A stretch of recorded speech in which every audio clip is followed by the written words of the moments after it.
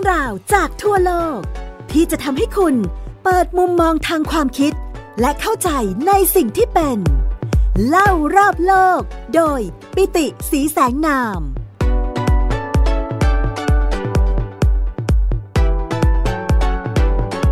สวัสดีครับ คุณผู้ฟังที่รักทุกท่านกลับมาพบกับผมปิติสีแสงนามและไทย PBS Podcast เล่ารอบโลกกันในตอนใหม่แล้วนะครับ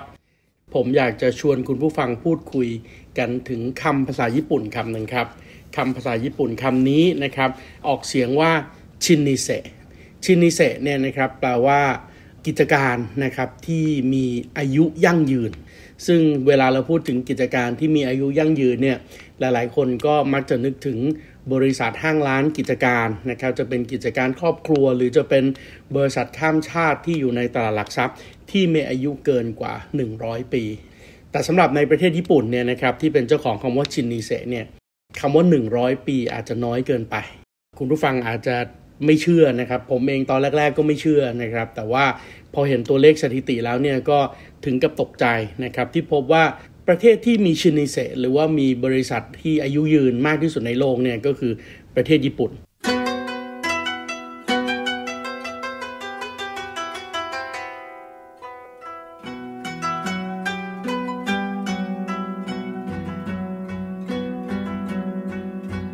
โดยในปัจจุบันนี้เนี่ยในประเทศญี่ปุ่นนะครับมีบริษัทมากกว่า 52,000 บริษัทครับมีกิจการมากกว่า 52,000 กิจการ ซึ่งมีอายุเกินกว่า 100 ปี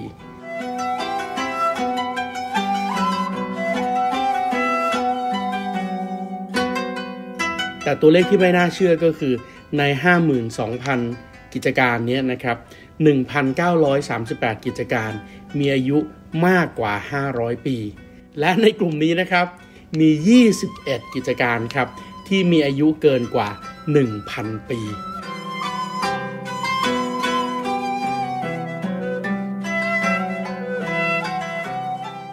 ฟังดูไม่น่าเชื่อนะครับ แต่ว่ามีบริษัทเอกชน มีธุรกิจที่เป็นธุรกิจของครอบครัวนะครับ ที่มีอายุยั่งยืนเกินกว่า 1,000 ปี ยกตัวอย่างเช่นนะครับบริษัทที่เก่าแก่ที่สุดในญี่ปุ่นนะครับก็คือบริษัทก่อสร้างที่อยู่ในโอซาก้านะครับแล้วก็เป็นหนึ่งในบริษัทก่อสร้างนะครับที่เป็นรากฐานนะครับของการสร้างวัดนะครับการสร้างพระราชวังนะครับการสร้างสะพานต่างๆ ในเมืองโอซาก้าในเมืองนารา แล้วก็ในเมืองเกียวโต ซึ่งเป็นเมืองหลวงเก่าด้วยนะครับบริษัทนี้ชื่อว่าคองโกกุมิคองโกกุมิเนี่ย ก่อตั้งขึ้นในปีคริสต์ศักราช 578 นะครับ นับจนถึงปีปัจจุบัน 2024 เนี่ย บริษัทนี้ก็มีอายุมากกว่า 1,446 ปีไปเรียบร้อยแล้วนะครับ หรือว่าอีกที่หนึ่งนะครับ ไม่ใช่บริษัทก่อสร้าง แต่ว่าเป็นธุรกิจครอบครัว อยู่ในจังหวัดยามานาชิ ที่จังหวัดยามานาชิเนี่ยนะครับ ก็มีโรงแรมครับ โรงแรมแบบญี่ปุ่นที่เราเรียกว่าเรียวกังเนี่ย ชื่อว่านิชิยามะออนเซ็นไคอันเคน นิชิยามะออนเซ็นไคอันเคนเนี่ยนะครับก่อตั้งปีคศ 705 เพราะฉะนั้นปีปัจจุบัน 2024 เนี่ย อายุของออนเซ็นเรียวกังแห่งนี้ก็ 1,319 ปีไปเรียบร้อยแล้วครับ โอ้โห ลองนึกภาพดูนะครับ ออนเซ็นซึ่งมีอายุ 1,300 กว่าปี มีคนสืบทอดกิจการกันมาแล้วเป็น หลายๆ เป็นร้อยรุ่นนะครับกว่าที่เขาจะสามารถที่จะสร้างเร็วกังแบบนี้ได้ แล้วก็ยังคงให้บริการโรงแรมนะครับ แล้วก็ร้านแช่น้ำร้อนแบบนี้อยู่จนถึงปัจจุบันไม่น่าเชื่อนะครับ จริงๆ ไม่ใช่มีแต่เฉพาะในญี่ปุ่นนะครับที่มีบริษัทอายุยืนหรือว่าชินิเซแบบนี้ ในสหรัฐอเมริกาเองนะครับก็มีบริษัท ประมาณสัก 19,500 บริษัทนะครับ19,497 บริษัทนะครับที่มีอายุมากกว่า 100 ปีลองจากในญี่ปุ่นรองจากในสหรัฐแล้วนะครับ อันดับที่ 3 ก็จะเป็นประเทศสวีเดนครับ ในสวีเดนเนี่ยมีบริษัทที่อายุเกินกว่า 100 ปีอยู่ 13,997 บริษัท หรือว่าเกือบเกือบจะ 14,000 บริษัทเลยทีเดียว แต่แน่นอนครับ ถ้าเทียบกันดูในญี่ปุ่นเนี่ย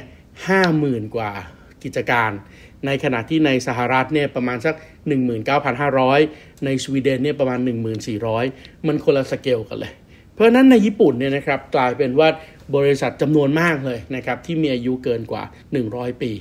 ยกตัวอย่างเช่นนะครับในตลาดหลักทรัพย์ของญี่ปุ่นเนี่ยซึ่งก็ถือว่าเป็นตลาดหลักทรัพย์ชั้นนาของโลกนะครับแล้วก็มีการระดมเงินทุนกันมากมายมหาศาลนะครับตลาด หลักทรัพย์ของญี่ปุ่นเนี่ยเขาจะแบ่งเป็น section section นะครับ แล้ว section ที่มีหุ้น blue chip แล้วก็เป็นหุ้นที่มีมูลค่าตลาดขนาดใหญ่เนี่ยเขาจะเรียกว่า first section ใน first section ของตลาดหลักทรัพย์ญี่ปุ่นเนี่ยนะครับ 51%ของบริษัทที่จดทะเบียนในตลาดหลักทรัพย์ญี่ปุ่นที่อยู่ใน first section เนี่ยเป็น family owned เป็นบริษัทที่เป็นของครอบครัวครับ จนถึงทุกวันนี้ก็ยังเป็นครอบครัวดำเนินกิจการอยู่นะครับ 51%แล้วใน first section เนี่ยนะครับ ก็มีบริษัทถึง 589 แห่งนะครับ ที่มีอายุเกินกว่า 100 ปี และปัจจุบันหุ้นของบริษัทตลาดหลักทรัพย์ในก็ยังคงดำเนินการซื้อขายอยู่ในบริษัทตลาดหลักทรัพย์แห่งนี้ บริษัทที่มีการจดทะเบียนในตลาดหลักทรัพย์ญี่ปุ่น ตลาดหลักทรัพย์โตเกียวที่เก่าแก่ที่สุดนะครับ แล้วก็อยู่ใน first section ด้วยก็อย่างเช่นมัตซุยเคนซัตสึ มัตซุยเคนซัตสึเคเคเนี่ยนะครับก่อตั้งตั้งแต่ปี 1586 1586 เนี่ยก็ปัจจุบันนี้นะครับปี 2024 นะครับก็ถือว่ามีอายุจนถึงปัจจุบันนี้แล้วเนี่ยนะครับมากกว่า 438 ปีไปเรียบร้อยแล้วนะครับบริษัทนี้ก็แน่นอนตั้งอยู่ที่โตเกียวนะครับพระราชวังหลวงของกรุงโตเกียว ซึ่ง โทนระเบิดไปแล้วในช่วงสงครามโลกครั้งที่2นะครับวัดสำคัญสำคัญนะครับอย่างเช่นวัดเซนโซจินะครับหรือว่าที่คนไทยนิยมเรียกกันว่าวัดอาซากุสะอย่างเงี้ยนะครับก็ถูกสร้างโดยบริษัทก่อสร้างแห่งนี้ เพราะฉะนั้นเขาเคลมว่าบริษัทก่อสร้างแห่งนี้เนี่ยสร้างสถานที่สำคัญสำคัญนะครับที่เป็นสถานที่ทางประวัติศาสตร์ของญี่ปุ่นเนี่ยมากกว่า 2,000 แห่ง บริษัทที่เก่าแก่รองลงมาที่จดทะเบียนในตลาดทรัพย์ของญี่ปุ่นนะครับที่มีอายุร้อยกว่าปีด้วยก็อย่างเช่น Sumitomo Metal Mining นะครับทำอุตสาหกรรมเหล็กและอุตสาหกรรมโลหะนะครับในเครือซูมิโตโมก็อยู่ในตลาดหลักทรัพย์ แล้วก็ก่อตั้งมาตั้งแต่ปี 1590 เพราะฉะนั้นเราจะเห็นเลยนะครับว่าบริษัทเหล่านี้เนี่ยเป็นบริษัทที่เจริญรุ่งเรืองนะครับแล้วก็อยู่ต่อเนื่องกันมายาวนาน คุณผู้ฟังฟังแบบนี้แล้วอาจจะคิดว่าโอ๊ยอาจารย์ก็ เห็นมีแต่บริษัทที่เป็นบริษัทก่อสร้างเป็นเรียวกัง บริษัทพวกนี้ทำอะไรทันสมัยทันสมัยไม่เป็นเหรอ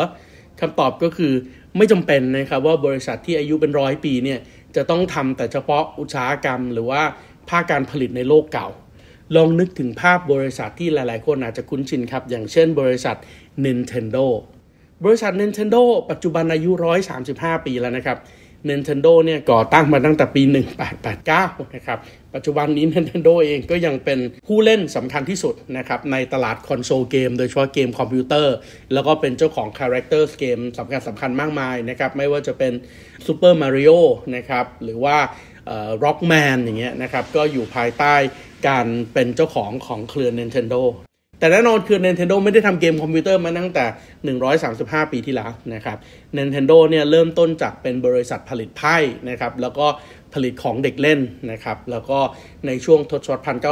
1970-1980 เนี่ยเมื่อเห็นบริษัทอย่างเช่นอาตาริในสหรัฐอเมริกาเนี่ยพัฒนาเกมคอนโซลปัจจุบัน Nintendo เองก็กลายเป็น 1 ใน3นะครับผู้ผลิตเกมคอนโซลที่มีส่วนแบ่งตลาดมากที่สุดในโลก หรือบริษัทเครื่องดื่มนะครับที่หลายๆคนอาจจะนิยมรับประทานนะครับนิยมเครื่องดื่มของ Suntory Suntory นี่ผลิตเครื่องดื่มหลากหลายเลยนะครับ ตั้งแต่กาแฟกระป๋องน้ำอัดลมไปจนถึงเครื่องดื่มแอลกอฮอล์นะครับมีฐานอยู่ที่โอซาก้าก็ก่อตั้งมาแล้ว 125 ปี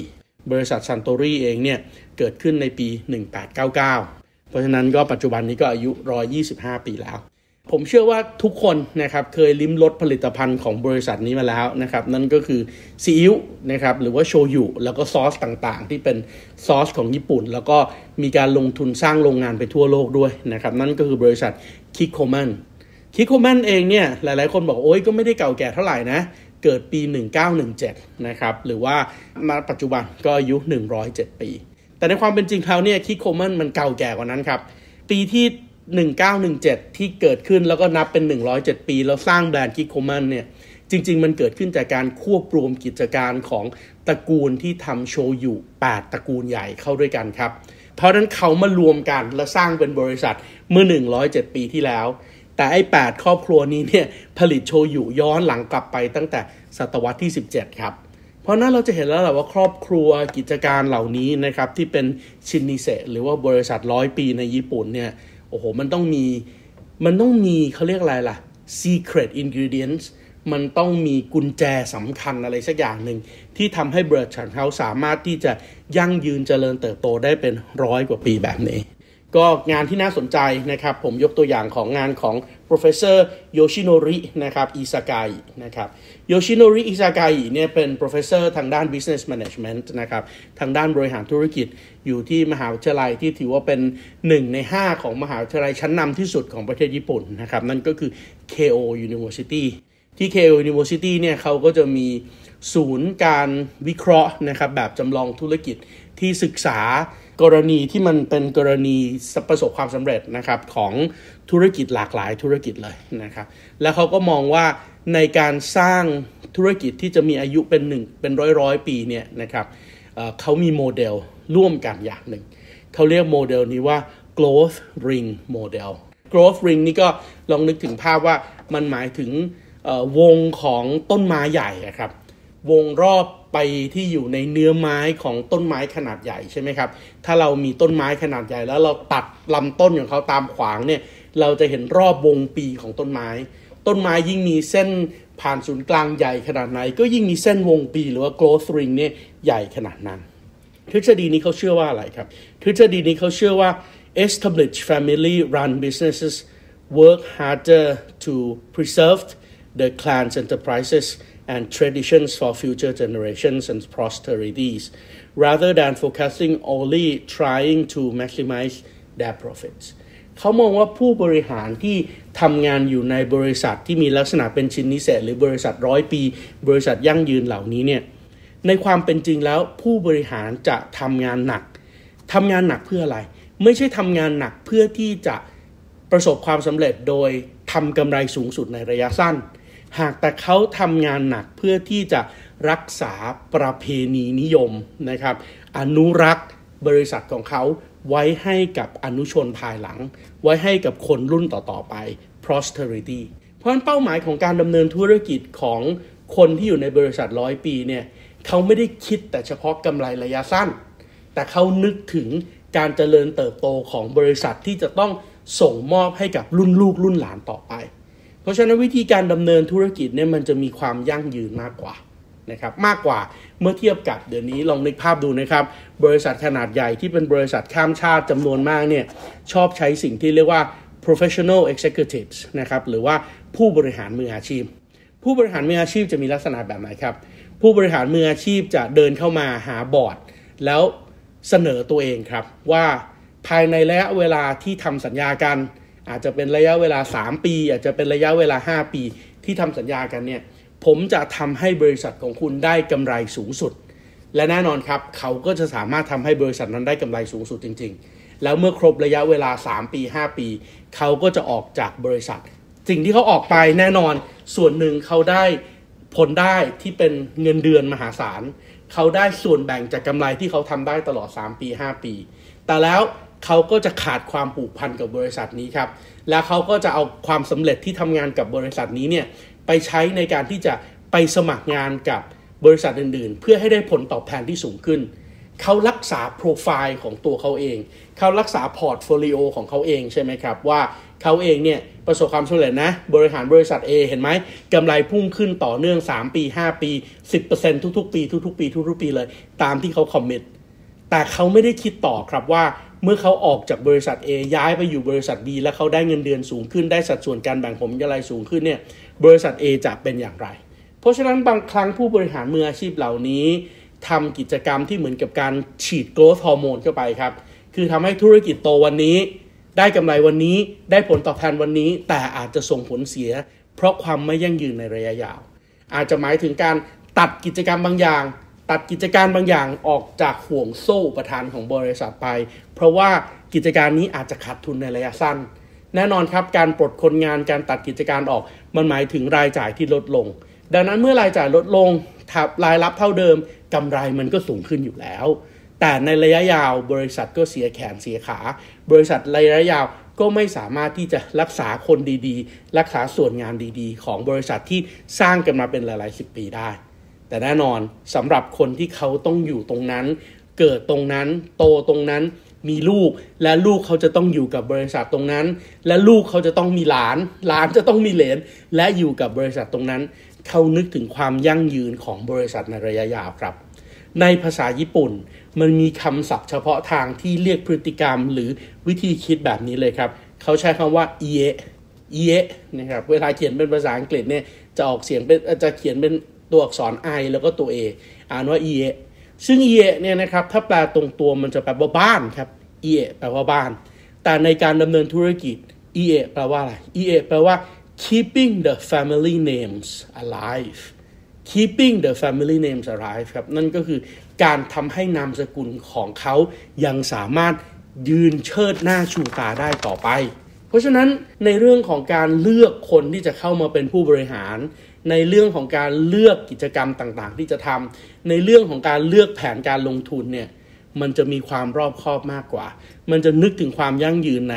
ระยะยาวมากกว่า เพราะฉะนั้นแน่นอนครับบริษัทร้อยปีแบบนี้ มักจะมีลักษณะที่เป็น risk averse หรือว่ามีลักษณะของการกลัวความเสี่ยง การลงทุนส่วนใหญ่นะครับ ก็มักจะเน้นการลงทุนที่มั่นใจปลอดภัยยั่งยืนแน่ๆ กลัวความเสี่ยงถึงขนาดที่ว่าบางครั้งบริษัทร้อยปี พวกนี้ไม่กล้าที่จะเอาสภาพคล่องของตัวเองไป reinvest แบบไม่มีแผนล่วงหน้าด้วยซ้ำถ้าเขาไม่มีแผนที่ดีจริง ๆ บางบริษัทสามารถที่จะเก็บเงินสด เพื่อที่จะเป็น cash flow สำรองได้ หากไม่มีรายรับเลย บริษัทก็ยังสามารถจ่ายเงินเดือนลูกน้องได้ ยาวนานถึง 2 ปีนะครับ โอ้โห cash flow management ตามตำราฝรั่งปัจจุบันนี้เนี่ยเขาบอกว่ามีเงินสดสำรอง 3 เดือน มีเงินสดสำรอง 4 เดือน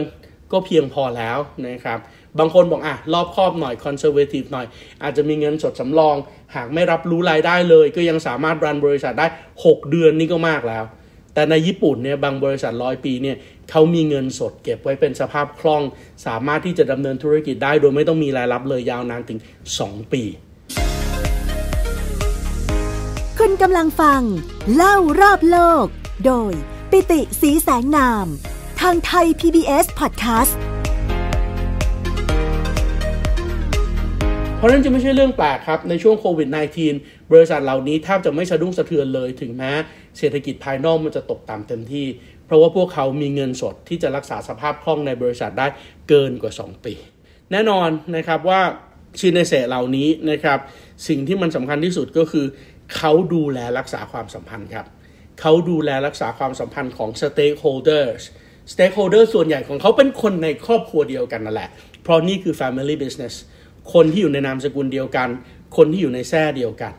เพราะนั้นคนเหล่านี้เวลาเขาทำอะไรเขาใกล้ชิดกันครับ อย่างน้อยทุกๆ วันเชงเม้งก็ต้องมาเจอกัน เดี๋ยวเดี๋ยวก็ต้องมาเจอกันในงานกราบไหว้บรรพบุรุษ เพราะนั้นเขาจะถูกถามไถ่กัน เขาจะไม่สามารถปล่อยให้ stakeholder หรือว่าคนที่เป็นญาติพี่น้องของเขาคนที่มีส่วนได้ส่วนเสีย คนอื่นๆที่เป็นผู้ถือหุ้นเนี่ยล่มจมลงไปได้ และในขณะเดียวกัน บริษัทร้อยปีขนาดนี้ก็รู้อยู่แล้วด้วยครับว่า ตัวเองต้องอยู่กับสังคมนี้ ตัวเองต้องอยู่กับชุมชนนี้ ตัวเองต้องอยู่กับเมืองนี้ เพราะเขาได้รับการสนับสนุนจากคนในเมืองนี้ในชุมชนนี้ต่อเนื่องกันมาเป็นร้อยปีแล้วครับ ดังนั้นเขาทำอะไรเขาจะไม่ได้คำนึงถึงแต่เฉพาะ stakeholder เพียงอย่างเดียว แต่เขาจะนึกถึง bystanders หรือคนที่อยู่รอบข้างที่อยู่ในชุมชนนั้นที่เป็นลูกค้าของเขาด้วย ราะกิจการของบริษัทเหล่านี้จะค่อนข้างที่จะยั่งยืนมากกว่านะครับ แล้วก็แน่นอนที่สุดปัญหาที่สำคัญของบริษัทที่เราพูดถึงกันเป็นบริษัทชั่วลูกชั่วหลานแบบนี้เนี่ยนั่นก็คือแล้วคนที่จะถูกเลือกขึ้นมาเป็นผู้นำคนต่อไป successors จะเป็นยังไง หรือว่าอัตโตสกิอัตโตสกิก็คือคนที่เป็นรุ่นลูกรุ่นหลานที่จะต้องถูกดึงออกมาเป็นทายาททางธุรกิจจะเป็นยังไง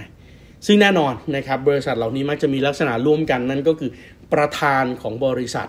มักจะถูกเลือกขึ้นมาจากลูกหลานสายตรงของผู้ก่อตั้งบริษัท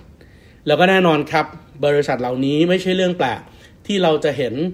เจ้าหน้าที่หรือพนักงงานที่เก่งที่สุดที่มีความสามารถดีที่สุด ในที่สุดแล้วไม่ใช่แค่เฉพาะเติบโตในสายงานครับ แต่มักจะได้แต่งงานกับลูกสาวของเจ้าของบริษัทด้วย เพื่อที่จะดึงคนเก่งๆเหล่านั้นไว้ให้กลายเป็น successor หรือเป็น跡継ぎในรุ่นต่อๆไป และก็ไม่ใช่เรื่องแปลกด้วยครับ สิ่งที่เราเห็นนั่นก็คือในยุคสมัยใหม่ ๆ ในบริษัทญี่ปุ่นเนี่ยภรรยาของลูกชายของประธานบริษัท มักจะกลายเป็นคนที่เก่งที่สุด เป็นผู้หญิงที่ประสบความสำเร็จในการทำงานมากที่สุดด้วย ไม่ใช่แต่เฉพาะการหาลูกน้องผู้ชายมาแต่งงานกับลูกสาวของตัวเองเท่านั้น แต่การหาพนักงงานหญิงที่เก่ง ให้มาแต่งงานกับลูกชายของประธานบริษัทเนี่ยก็เกิดขึ้นด้วย และคำถามสำคัญสำหรับบริษัทเหล่านี้ก็คืออ้าวแล้วถ้าเกิดว่ารุ่นลูกรุ่นหลานเขาไม่สนใจอยากจะทำธุรกิจแบบนี้ต่อละเขาอยากจะไปทำงานอย่างอื่น เขาไม่อยากทำแล้วกิจการครอบครัวมันจะเป็นอย่างไร หรือในกรณีที่เป็น worst case scenario ก็คือ หากไม่มีทายาทละ่ะ เจ้าของบริษัทกับภรรยาเกิดไม่มีลูกละ่ะ จะทำอย่างไรต่อไป เพราะฉะนั้นโอโตสุกิในญี่ปุ่นเนี่ยบางที ทางรอดก็คือการรับเลี้ยงบุตรบุญธรรมครับ การเลี้ยงบุตรบุญธรรมแล้วค่อยๆ grooming บริษัทของเขาผ่านการเลี้ยงดูบุตรบุญธรรมให้เก่งขึ้นเก่งขึ้นเก่งขึ้น แล้วก็พร้อมที่จะเป็นทายาทที่จะดูแลธุรกิจต่อเนี่ยถือเป็นเรื่องธุรกิจของบริษัทร้อยปีแบบนี้ครับ เราเห็นปรากฏการณ์แบบนี้มาแล้วนะครับในบริษัท National Panasonic เราเห็นปรากฏการณ์แบบนี้มาแล้วนะครับบริษัทยานยนต์ขนาดใหญ่อย่างเช่นโตโยต้า หรือปัจจุบันนี้บริษัทยานยนต์ขนาดใหญ่แห่งหนึ่งอย่างเช่นซูซูกิอย่างเงี้ยนะครับประธานบริษัทซูซูกิคนปัจจุบันเนี่ยโอซามาซูซูกิเนี่ยนะครับก็เป็นลูกบุญธรรมนะครับ เป็นลูกบุญธรรมคนที่ 4 ของแชร์แมนคนที่แล้ว เพราะฉะนั้นเขาเองก็เลือกบุตรบุญธรรมเข้ามา แล้วก็ดูด้วยว่าใครที่จะมาเป็นลูกบุญธรรม และมีโอกาสที่จะเป็นผู้ดูแลสืบสกุลบริษัทร้อยปี หรือบริษัทชินนิเซเหล่านี้ต่อไป และนี่ก็คือกรณีของบริษัทร้อยปีในญี่ปุ่นที่ประสบความสำเร็จครับ ในสัปดาห์หน้า เดี๋ยวเราค่อยมาคุยกันครับว่า แล้วในประเทศไทยอะมีบริษัทร้อยปีแบบนี้อยู่มากน้อยแค่ไหน แล้วก็บริษัทร้อยปีขนาดใหญ่ๆเนี่ยมีบริษัทอะไรบ้าง แล้วก็ถ้าเป็นไปได้ ผมขอกระสิบนิดนึงครับ ธุรกิจครอบครัวของผมเอง ปีหน้าปี